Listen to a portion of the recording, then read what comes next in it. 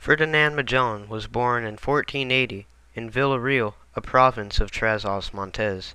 Being born into a wealthy family, he spent his early years in the Portuguese court. There, he learned about explorers, such as Christopher Columbus. He was very influenced by them and wanted to explore the world. When he was 25, his opportunity came when Francisco de Almeida offered to take him to India to look for a new trade route. The year is 1505. Portugal is failing economically compared to Spain, and King Manuel grew angrier and angrier until he decided to use his best explorer for collecting trade goods. It's You're losing money. Fetch me Francisco de Almeida. Here he is. What is it, Mike? We need more goods. I suggest we go to India. I think that's a good idea. I love it. Start on Monday. Hey, Ferdinand, would you like to be on my ship? Yeah! Yes. The year is still 1505, and Magellan is sailing to India to find a new trade route.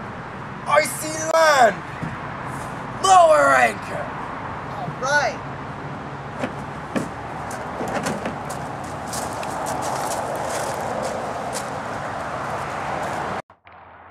I can't see anything.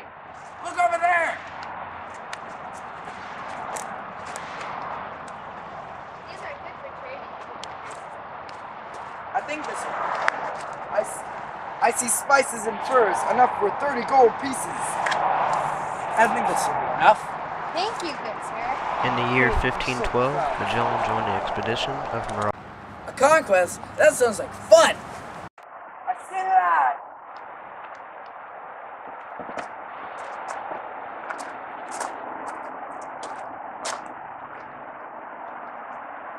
It's a person. Let's get him.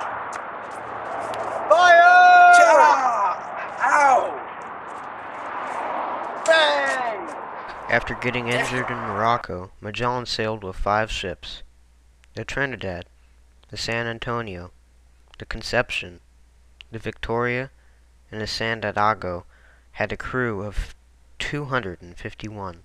They sailed across the Atlantic to South America. In 1520, he and his crew anchored for the winter in southern Ar- Argentina. In the same year, a mutiny breaks out and the Santiago sinks. A few months later, they resumed sailing into now what we know as the Strait of Magellan, and were the first Europeans to sail in the Pacific Ocean.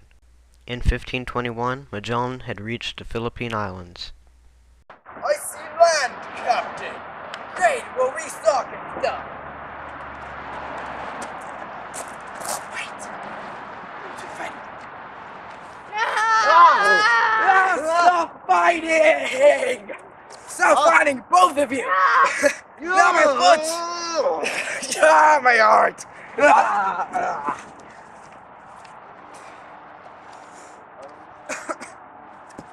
Run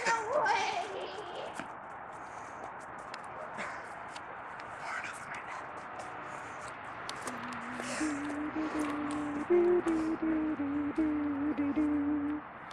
After Magellan had died, they abandoned one of their ships, the Conception, because they had only 110 men left.